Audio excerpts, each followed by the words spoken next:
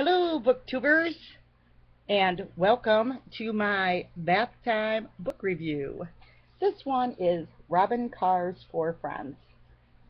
Three of the girls have man trouble, and one of the girls is looking for the perfect man and is surprised by who she ends up finding, and then kind of the girl that you wouldn't expect um, kind of saves the day type of thing. But this is a nice read, you know, Last night I finished it with my little book light while my husband was snoring away. it's a great little read and um, perfect to read in the tub or read, you know, by your bedside after your bath or your nice snuggly chair. So I hope you enjoyed my bath time review. God bless.